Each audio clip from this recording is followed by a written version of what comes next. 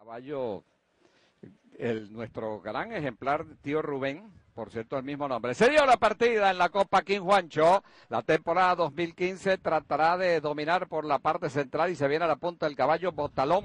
Botalón viene a la delantera. Cabrestero se ubica por fuera, corre en el segundo puesto, estrecha las posiciones para el segundo y tercero. Mientras tanto, Bengaleiro pasa al segundo, busca Botalón que está por la parte interior. Cabrestero mantiene ahora el tercero. Ya avanza Tío Rubén para el cuarto lugar en el quinto rey. En el sexto alegato, luego corre el ejemplar Arabian Faraz, luego corre el caballo Pedro Miguel corre en el penúltimo lugar y Suite cierra, dominándoles la carrera Botalón, Botalón con dos cuerpos de ventaja. Leiro corre en el segundo puesto, Cabrestero por dentro corre en el tercero. Está Tío Rubén colocado bastante cerca en el cuarto lugar, en el quinto rey, en el sexto alegato, en el séptimo dardo. Desde el fondo se viene moviendo bastante Pedro Miguel, ha pasado ya tres ejemplares. Está Arabian Faraz en el penúltimo lugar y Suite anda en el último, dominando en la Copa King Juancho del 2015 el caballo Botalón.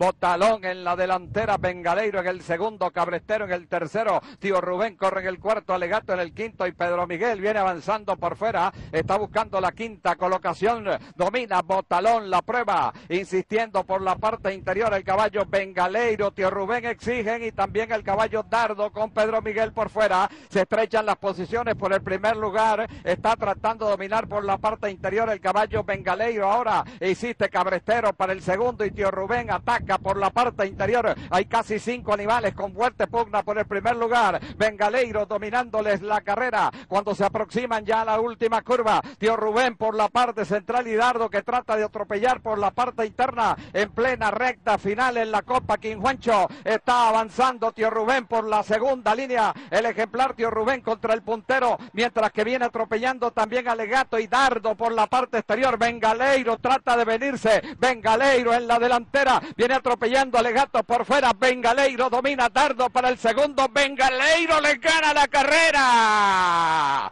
En el segundo Dardo, en el tercero Alegato, en el cuarto Pedro Miguel.